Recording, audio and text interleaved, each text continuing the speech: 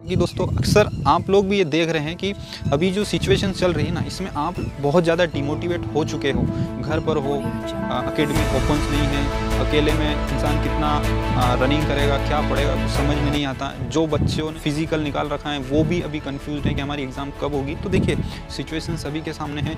हमें ये सिचुएशन से फेस करके आगे निकलना फ्रेंड्स ठीक है? हमें डीमोटिवेट नहीं होना है, क्योंकि सभी सामान्य हो गया है। धीरे धीरे सारी स्थिति सामान्य हो जाएगी और फिर से एक नई रोशनी के साथ, एक नई उम्मीद के साथ हम अपने टारगेट की ओर बढ़ेंगे और वही मॉर्निंग में चार बजे उठ के फ्रेंड्स रनिंग के लिए निकलेंगे और पूरी जी जान से ग्राउंड में मेहनत करेंगे पसीना बहाएँगे और अपने टारगेट की ओर हर दिन छोटे छोटे प्रयास कर कर उसकी तरफ़ बढ़ेंगे। देखते हैं, मंजिल बड़ी है कि हमारे हौसले?